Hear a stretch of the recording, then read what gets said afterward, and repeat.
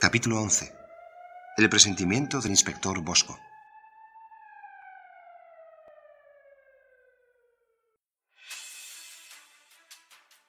Esa mañana, cuando el inspector entró en la comisaría, los oficiales que había en la recepción le comunicaron que se habían recibido cuatro llamadas asegurando que Nikolai Bobiensky era el asesino de la hoja y que un hombre garantizaba haberlo visto regresando a su casa con manchas de sangre en la ropa el día del tercer crimen. ¿Es cierto eso? ¿Lo tenemos?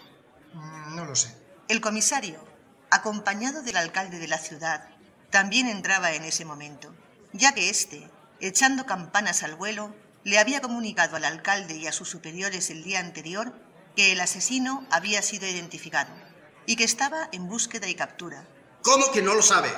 Pero no tenían tres testigos. Y ahora también hay varias llamadas, ¿no? Las llamadas han sido anónimas. Sí. Dígale a Anastasia del laboratorio que suba. Y ustedes, acompáñenme, por favor. Tenemos que hablar de algo muy importante. Y caminó hacia una especie de sala de juntas que estaba al lado de su despacho.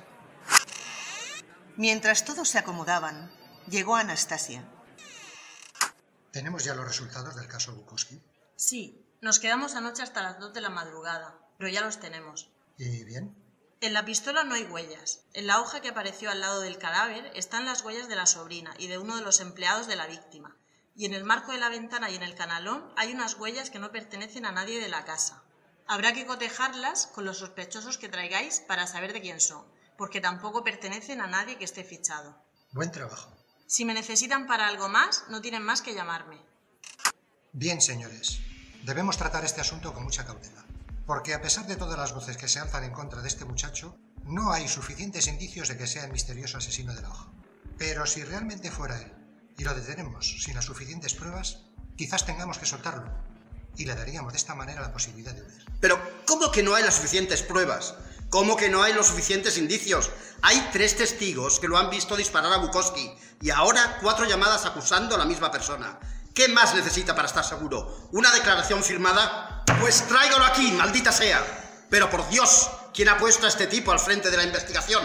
Señor alcalde, el inspector Bosco es el oficial más capaz que hay en toda la comarca con mucha diferencia. Y si no ha ascendido más es porque a él no le gusta trabajar tras de una mesa. La investigación se ha llevado a cabo de la misma manera que los mejores especialistas con los que yo he trabajado lo hubieran hecho. Completamente de acuerdo. Gracias, señores. Pero no necesito que me defiendan. Lo que necesito es que nos pongamos todos de acuerdo. Debemos tomar una decisión muy delicada. Y no quiero cargar con la responsabilidad de tomarla yo solo. Por eso le ruego que analicemos muy detenidamente este asunto. Está en juego la vida de algunas personas, y no quisiera que por hacer las cosas precipitadamente alguien más tuviera que morir, sea quien sea el asesino. Sí, pero es que ahora mismo yo tampoco lo entiendo, Aaron. ¿Cómo que no hay suficientes pruebas? Tres testigos han visto a ese chico disparar a Bukowski. No, esa es la cuestión, que no la ha visto nadie. Aarón, la sobrina y los dos guardaespaldas de Bukowski han declarado que lo vieron. No. Los guardaespaldas han declarado que Nicolai subió al despacho y que enseguida escucharon voces y luego un disparo. Y la sobrina ha declarado que escuchó a su tío discutir con Nicolai y acto seguido el disparo también. Pero nadie vio con sus propios ojos al muchacho disparar al anciano. Cuando los tres llegaron al despacho, solo vieron a Bukowski muerto y a su lado el arma, una chaqueta y esa dichosa hoja. Ahora bien, este asesino es tan inteligente o tiene tanta suerte que estando la ciudad prácticamente sitiada por la policía y a pesar de las precauciones que la misma gente está tomando, no le ha impedido seguir con los crímenes, sin que tengamos el más mínimo indicio de quién puede ser. Y ahora de repente se vuelve loco y mata a una persona en su propia casa, a vista de todo el mundo, en una casa donde todos lo conocen. ¿A ustedes no les parece todo esto muy raro? Pero, Aaron, los asesinos en serie no son lógicos. Ya se lo he dicho varias veces. A lo mejor el afán de protagonismo del que estuvimos hablando aquel día haya sido determinante, porque lo tiene. Y la prueba es esa hoja que va dejando al lado de todas las víctimas. Quiere crearse una marca. Nos está retando. Quizás se haya cansado de esperar a que lo cojamos y haya decidido quitarse la máscara de una vez. Y si hubiera decidido quitarse la máscara para que lo detengamos cuanto antes, ¿por qué tomarse la molestia de no dejar huellas ni en la pistola ni en la hoja? Pero también hay varias llamadas acusando a la misma persona, ¿no? Disculpen, inspector, se ha recibido otras dos llamadas acusando a Nicolai y un hombre afirma haberlo visto huyendo del lugar del crimen la tarde que asesinaron a la tercera víctima. Al oír esto, el inspector recordó que aquella tarde, en el momento en que él llegaba al lugar de los hechos, había un muchacho parado con una bicicleta mirando, pero la expresión que recordó en su rostro era de tristeza o de miedo, no de sadismo o de desafío. Esto es lo que no entiendo. ¿Por qué estas llamadas ahora y no antes? ¿Por qué después de tanto tiempo? Bueno, eso sí puede tener una explicación razonable. Aquí hay un pánico colectivo a este asesino, ya que hasta ahora no hemos podido cogerlo, y campar a sus anchas por toda la ciudad. Es posible que algunas personas hayan visto algo, pero que no se hayan atrevido a denunciarlo para no tener que testificar contra él en un juicio. Pero si se ha corrido el rumor de que también ha matado a un hombre que hasta tenía seguridad privada, hayan comprendido que nadie está a salvo de él y hayan decidido llamar, pero anónimamente, para no comprometerse, y posiblemente le hayan pedido a familiares o amigos que llamen ellos también. Por esto les decía antes que debemos tomar una decisión muy importante. Emilian, quédate. También me interesa tu opinión. Verán, ayer estuve observando esa casa muy detenidamente. Por el canalón que hay al lado de la ventana es tan fácil subir como bajar, porque es muy grueso y llega casi hasta el suelo. Y he llegado a sospechar que lo que pasó en realidad fue algo muy distinto a lo que creen todos los testigos.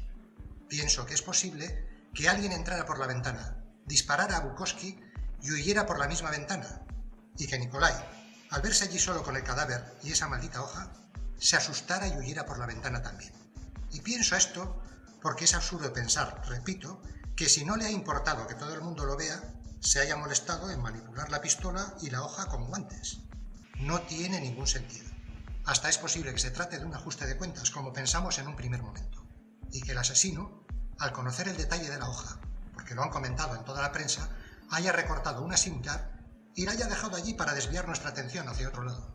¿Y por qué iba a dejar el asesino el arma allí? Lo lógico hubiera sido llevársela, ¿no? Pero los asesinos en serie no son lógicos, señor Dagoski. Aunque posiblemente dejara el arma allí para poder correr con más libertad. Hay policía por todas partes.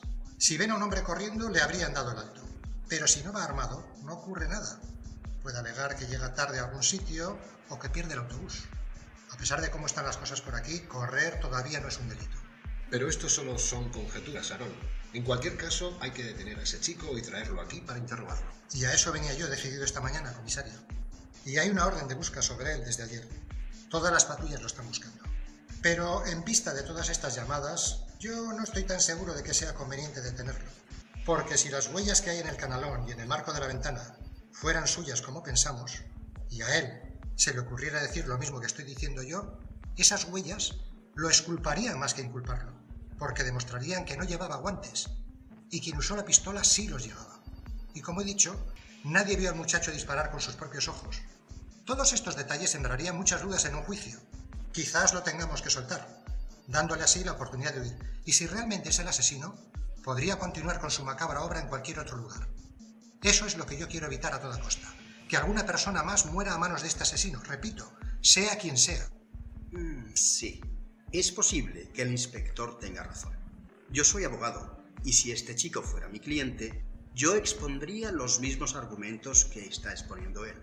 Estoy casi seguro de que saldría inocente. Porque la única pregunta que quedaría en el aire, que sería, si tú no eres el asesino, ¿por qué huiste? Tendría una respuesta muy razonable porque me asusté del asesino, de la hoja, de los guardaespaldas, de la policía, de todo. Y considerando la edad que tiene el chaval, resultaría muy fácil creerlo.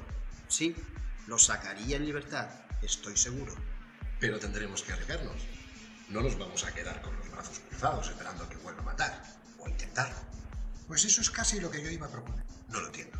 Estaba pensando que en lugar de detenerlo con todas estas dudas, Quizás sería mejor vigilarlo estrechamente, pero sin acercarnos a él, como si nada hubiera pasado.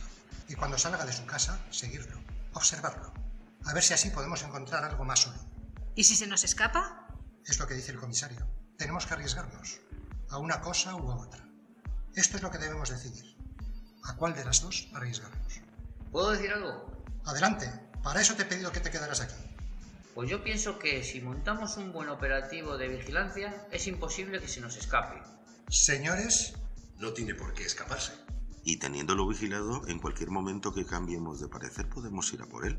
Lo que es cierto es que si hacemos eso, el que se quedará desconcertado será él. No comprenderá por qué no vamos a detenerlo. Si realmente él es el asesino, le hará crecerse. y ese es el estado ideal para que baje la guardia. Bueno, pero quiero a toda la policía encima de él. Pida más refuerzos si hace falta, pero que no se le pierda de vista ni un solo momento. Eso es lo que pensaba hacer. Estamos de acuerdo entonces. De acuerdo. Sí, de acuerdo. Hagámoslo. Entonces el inspector llamó a la patrulla que la noche anterior se había quedado ante la casa de Nicolai, preguntando si había novedades. Los oficiales le respondieron que hacía unos minutos que una mujer que debía de ser su madre había salido de la casa, pero Nicolai estaba dentro, pues lo habían visto cerrar las cortinas nada más salir ella. Perfecto. Está en su casa. Lo tenemos atrapado. Pues adelante. El inspector entonces pidió a las dos ciudades más próximas su colaboración para ayudarles con las labores de vigilancia y apenas dos horas después, en una operación sin precedentes, un auténtico ejército de policías vestidos de paisano tomaba literalmente el barrio donde vivía Nicolai. Solicitaron también la colaboración de los dueños de un bar que había justo enfrente de su casa, pidiéndole permiso para colocar allí a dos hombres vestidos de camareros, y un coche en la parte de delante y otro en la parte de atrás vigilaban la casa de noche y de día.